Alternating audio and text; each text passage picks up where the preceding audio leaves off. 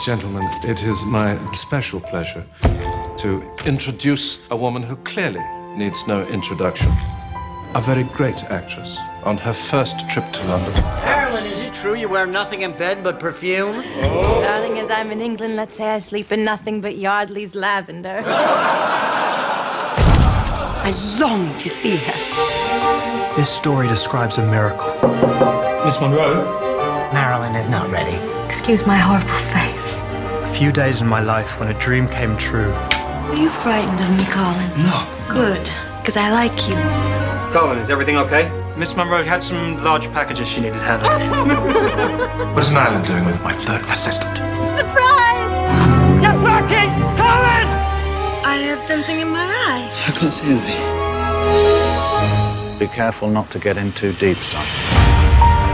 Marilyn Monroe fancying you. Come on. She breaks hearts. She will break yours. Why wouldn't buy the little girl lost act if I were you. I think Marilyn knows exactly what she's doing. All people ever see is Marilyn Monroe. What must it be like to be the most famous woman on earth? You could quit this. Forget Marilyn Monroe. Forget Hollywood. But let it all go.